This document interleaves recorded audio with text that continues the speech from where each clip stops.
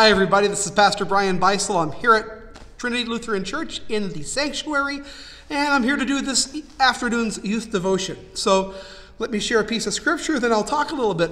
And I want to talk about something that's pertinent to all of us, I think.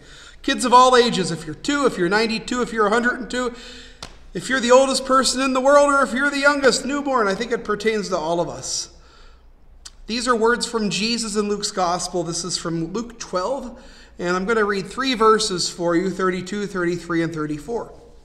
Jesus said, Do not be afraid, little flock, for it is your Father's good pleasure to give you the kingdom. Sell your possessions and give alms. Make purses for yourselves that do not wear out, an unfailing treasure in heaven where no thief comes near and no moth destroys. For where your treasure is, there your heart may be also. All right. So Jesus starts this saying by talking about fear and saying, Do not be afraid, because your Father wants to give you the kingdom of heaven. That's supposed to give us a lot of faith and positivity and inspiration and hope. All of those good things, that's what we're supposed to get from that. And we do. We get that hope. We know that regardless of what happens here on earth, God wants us to give us the kingdom. And we're going to get that kingdom. Not because not because of our goodness, but because of God's goodness. Because God loves us. And I try to talk about that love pretty consistently when I talk with kids because I think kids need you need to hear that. You need to hear the message consistently that God loves you because sometimes we get other messages in this world about other sources and other people who maybe don't know how to tell us that. I know too many fathers out there who have a hard time saying, I love you. Know that God loves you. Know also that God wants you to be safe, wants you to protect yourself, wants you to be in a good state. So when he says, do not fear, you know, some people hear do not fear and think, well, that means I can do whatever I want and I won't have to be afraid, right? I won't have fear. So I want to talk to all the kids who are watching this about fear. Fear can be a good thing because it can protect us from doing foolish things. Let me tell you a story about something your pastor did when he was young. This was when I was uh, beginning of my sixth grade year at North Schuylkill, Frackville Elementary. When I was a kid, I grew up on Center Street in Frackville, two blocks down from the Little League field. And behind the Little League field looks very different now. They, they cleared out a lot of those trees, but there was this heavily forested area. And part of what was back there was an old train station. And in the matter of fact, I remember there even being a couple of trains that had been abandoned. And for bored kids who lived in that neighborhood, something we often did was we walked into those wooded areas and we explored the ruins of the train station. We loved it back there. There was an old mine cave, Frankie's Cave, we called it. I was back there the one Sunday. It was after church. My friend Tim and I had gone. Didn't name Timmy after him, by the way. Good guy, though. Um, Tim and I went back there and explored like we often did, and we went through the ruins. And part of this was there was this big cement wall all of a sudden, right after the old trains. And the cement wall separated one level of the woods from another. It was obvious it was a part of the old train station. It was probably about a 30 foot drop off, 25 to 30 foot, something like that. It was big. And I remember myself starting to walk along the edge like a balance beam, one foot in front of the other. I remember my friend Tim saying, Brian, you shouldn't do that. And me saying, Oh, I'm fine, I can do this. I wanted to impress him. Like we do stupid things when we want to impress each other sometimes, don't we? We do foolish things and we do things that we regret because we want someone to like us.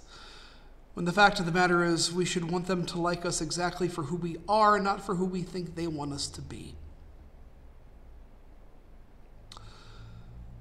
And I should have had fear.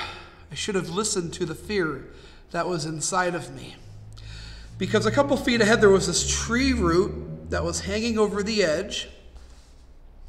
And because I am not exactly a person who has, what do they call that? Coordination.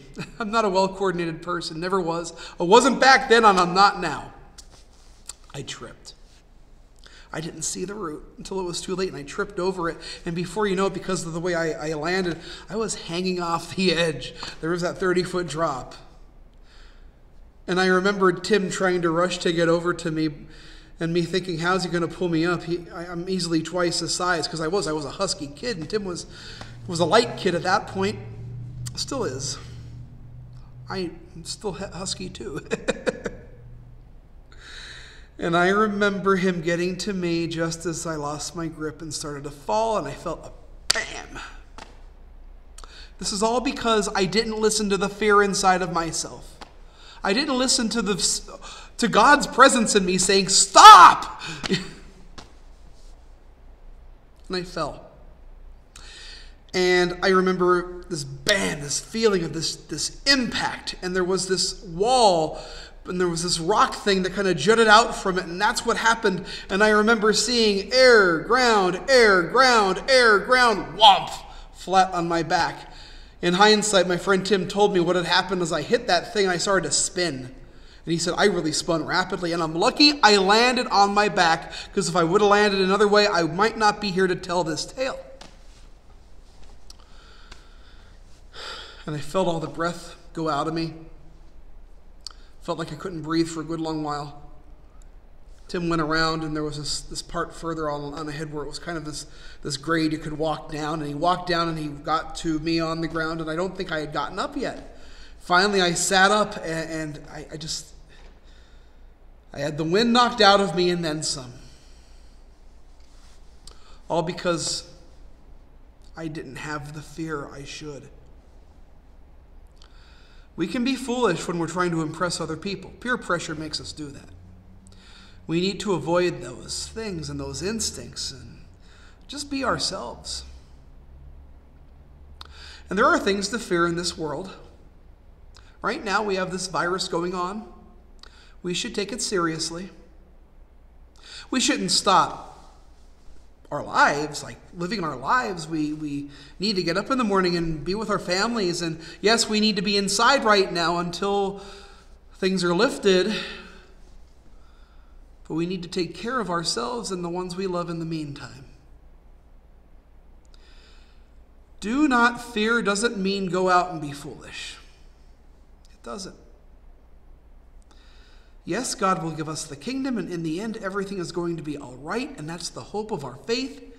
But in the meantime, we have this life, and we have to take care of each other and the ones we love, and even the ones we don't love. And part of that is living knowing fear is going to be a part of our journey. But it's not a part of our journey we go through alone because God promises to be with us. Then Jesus goes on to tell us wherever our treasure is, there our heart will be also. And I think that's, that's a really interesting thing. Martin Luther said something very, very similar. Martin Luther, who started the Lutheran Church, which we worship in, he said that you can tell what is your true God by what you spend your time doing and how you spend your time with other people and what, what motivates you. And there can be fear in that too because sometimes we're not motivated by our relationship with God. We're related, we're, we're motivated by our desire for things. Those of you who are younger, maybe right now you're desiring a Nintendo Switch if you don't have one right now, they're all the rage. Ever since everything happened, people started buying them up, and now you can go on eBay and buy a Nintendo Switch for like $500, like twice as much as they would cost you in a store. You can't find them in a store. A lot of stores aren't even open. There's that fear of doing without, that fear of not being like everybody else. We are called to love as Jesus loved us. And so that means our treasure is in our ability to care and love the people around us and to think about who they are and where they've been and to treat them with as much kindness and grace and mercy as we can.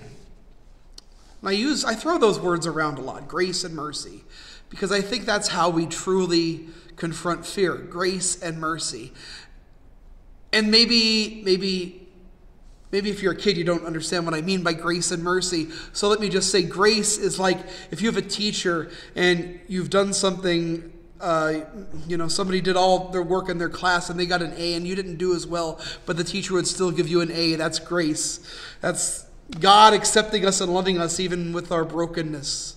Mercy, mercy, that is when you act in forgiveness to somebody. That's mercy.